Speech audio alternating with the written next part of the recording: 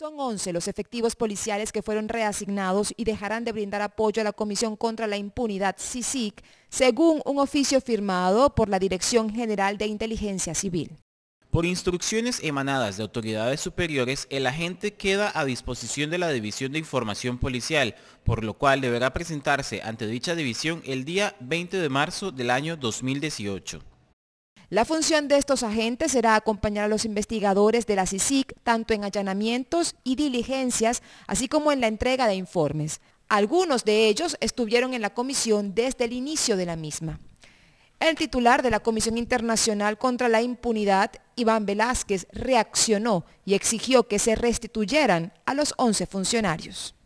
Recordamos la vigencia del convenio bilateral de cooperación entre el Ministerio de Gobernación y la Comisión Internacional contra la Impunidad en Guatemala y el compromiso del Gobierno de la República de Guatemala de prestar toda la asistencia necesaria para la realización de las funciones y actividades de la CICIG, contenido en el acuerdo constitutivo de la Comisión. Diversos sectores de la sociedad civil han mostrado su rechazo a la decisión del Ejecutivo y consideran que esta es una movida más de Jimmy Morales en contra del comisionado Velázquez. Luego de que el mandatario acusara al comisionado de la CICIC de extralimitarse en sus funciones al mediatizar los casos judiciales que investiga.